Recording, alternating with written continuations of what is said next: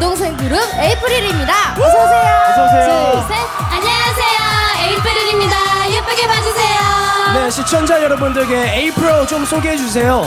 네, 저희 에이프릴은요, 4월처럼 기분 좋은 따뜻함을 노래하는 사랑스러운 소녀들이라는 뜻이고요. 밝은 에너지를 가진 평균 연령 17.5세입니다. 귀엽게 봐주시고, 많이 사랑해 주세요. 네. 네,